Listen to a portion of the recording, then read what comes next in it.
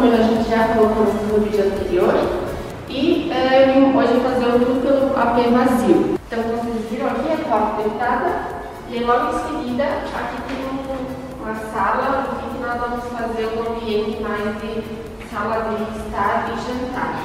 Então, é bem amplo, eu vou ficar, a Mari vai ficar na ponta e eu vou ficar na outra ponta, para virando o que é. É, tem uma super janela maravilhosa. É bem neutro, gostei bastante desse piso. Dá para combinar com vários tonalidades de madeira ou MDF, enfim. Nós gostamos bastante. Ele já veio bem prontinho, bem acabadinho, enfim. Uh, aqui vai ficar uma cozinha mais estreitinha. Aí já colocaram, vocês percebem que não é mais na caracteriza, é com azulejo. E aí quando nós compramos ele já veio com os pontos prontos para nós quando for fazer o planejado da cozinha, já tem tudo já pré-estabelecido. Então fica mais fácil, vamos dizer assim, para colocar os, todos os elementos que a gente precisa para a cozinha. Aqui tem uma churrasqueira que a gente vai provavelmente não ser, não vai ser utilizada para churrasqueira. Nós vamos utilizar como fazer bife, alguma coisa com mais. Sem, como ter coisa, nós vamos pensando em fazer tudo aqui para ser mais ágil para nós. Mas, enfim, são ideias. Aqui, enfim, daí ficaria uma parte mais da geladeira e, e, talvez as torres dos nítidos, não sei, tem que ver como é o projeto, como nós vamos fazer. Aqui tem a, a, o ponto para colocar o aquecedor de água, mas quando a gente vai para a nossa super sacada, também tem coisas de área de serviço aqui. Então eu e o Mário nós estamos pensando em deixar aqui dentro só para a cozinha e aqui de fora fazer alguma coisa com área de serviço. Aí nós tiraríamos essa porta uh, e aí ficaria uma coisa mais uh, livre acesso, uma coisa mais ampla. E automaticamente nós iríamos fechar essa janela para poder fazer uma lavanderia realmente fechada e bem equipada. Deixa eu fechar aqui. Aí aqui, enfim, tem o espaço mais para aquecedor também, para pia, para botar as máquinas se a gente precisar. E a vista maravilhosa que nós temos da cidade de Bento Gonçalves, que eu achei fantástica a nossa vista. Tem várias construções em andamento. É um local bem localizado e bem alto da cidade. E aqui no nosso lado eles estão construindo um hotel muito maravilhoso. Então é, um, uma localização bem calma, vamos dizer assim, bem turística da nossa cidade que nós temos no nosso apartamento. E eu gostei, e nós dois, no caso, gostamos muito. Então, dando sequência aqui, vocês percebem que essa área toda ela tem o mesmo piso, então dá para fazer uma, uma união com os móveis e com a, o próprio que vai fazer essa característica integrada.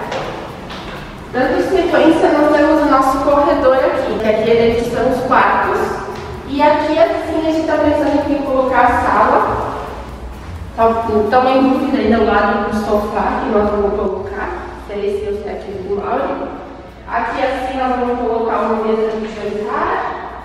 Enfim, não, não, não, vamos uh, querer encher muito, muitos móveis. É uma coisa bem aberta mesmo que a gente quer. Aqui nós vamos ter essa porta. Nós estamos pensando em tirá-la, porque não faz sentido nós termos ela. Mas são ideias, tá, gente? Estou falando só aqui que a gente, que, que eu e o conversamos.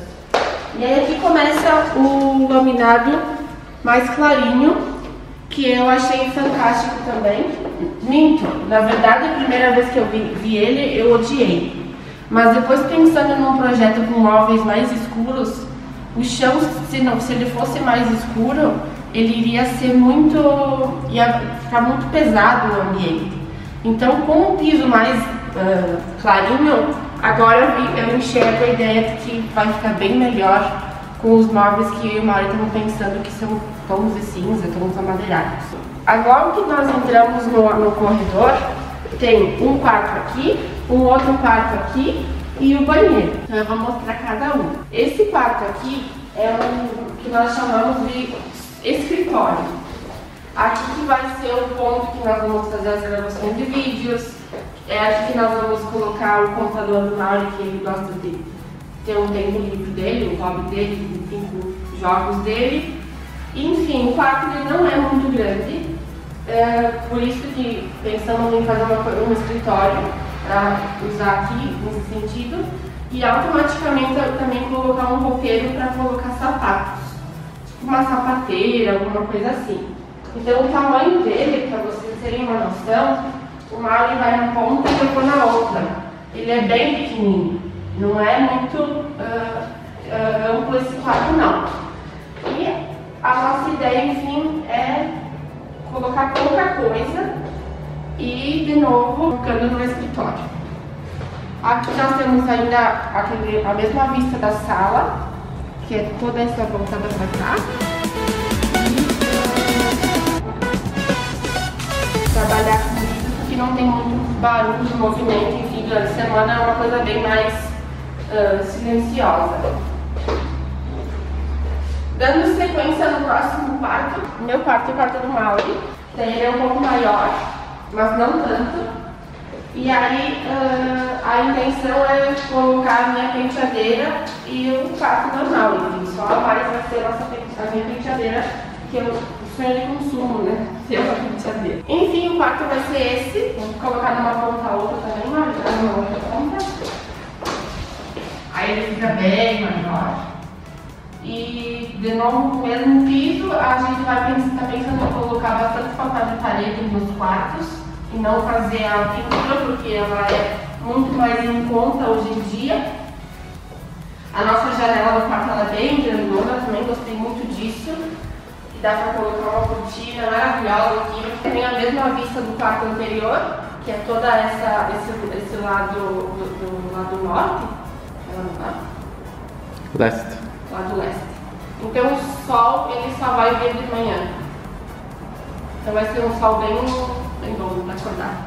Ah, sim! Agora a partir de hoje você deu muito de ideias, me mandem sugestões para cada ambiente, que estou recebendo essas ideias. E agora os comentários o que, que vocês acharam daqui do nosso apartamento.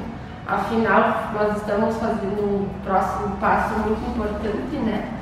E óbvio que eu gostaria muito de compartilhar todos esses momentos com vocês, porque eu, além de deixar guardado esses vídeos para nossa vida, né, para nossa memória, eh, eu gosto muito de compartilhar esse tipo de assunto e eu gostaria de saber a opinião de vocês. Já curte o vídeo e uh, comenta muito, tá? Bom, vamos seguir para o banheiro agora. No lado do nosso, do nosso quarto, então, como vocês viram, nós não temos outro banheiro. Vai ser o, o único banheiro do apartamento. Então, nós vamos chamar de banheiro lavado. Então, a ideia é colocar, fazer um banheiro mais elaborado. Porque realmente quando vier uma visita, alguma coisa do gênero, não vai ter outro lugar. Vai ser o mesmo banheiro que eu moro vamos ocupar. Então, ele é bem no final do corredor. E ele vem já de, da construtora com o vaso sanitário com o ponto da, normal das coisas, do, da pia. E um pequeno rachado aqui, né? Eu tinha que ver isso aqui. Eu vi isso agora, mas tudo bem. E aí, bem pequenininho, achei ele. Eu, por, por ter só um banheiro, eu achei ele muito pequeno. Mas é o que temos. E aí aqui tem para fazer o chuveiro, bem legal, muito espaço para tomar banho, tem espaço bom para tomar banho. Mas o restante eu achei meio pequeno. Mas enfim, vamos estudar novas uh, sugestões para colocar aqui, porque tudo que eu tinha na minha cabeça não estava não tá fechando com os projetos, né? E enfim, aqui temos uh, todo o rebaixe de gesso, tudo pronto, maravilhoso, com a pedra branca, que a gente gosta muito, e com o mesmo piso que é da parte lá da, da sala e da cozinha. Então, novamente, o mesmo piso, eu acho que fica fantástico colocar nos tons que a gente está querendo trabalhar, que é cinza e madeirado, que eu já falei anteriormente. Vamos voltar para a sala para fazer umas considerações. Por que, eu coloco aqui embaixo? Eu sou mais alta, sabe? Eu tenho que dar na minha altura.